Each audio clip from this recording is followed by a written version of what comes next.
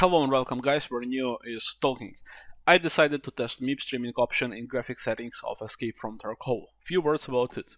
So, MIPMAP streaming is a system that allows to reduce the total amount of memory needed by Unity engine for textures. In other words, it trades small amount of CPU resources to save potentially large amount of GPU memory, usually up to 25 or even 30%.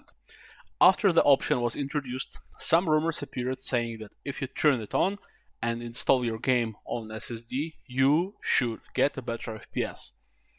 To make it clear, this option was introduced to remove stutters from graphics cards with low amount of VRAM.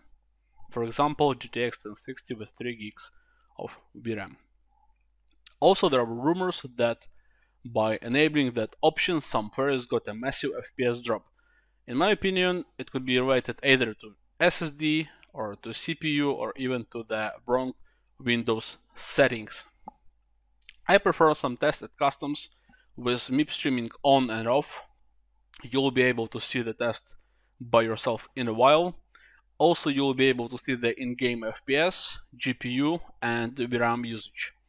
You can see the settings that I'm using in the game.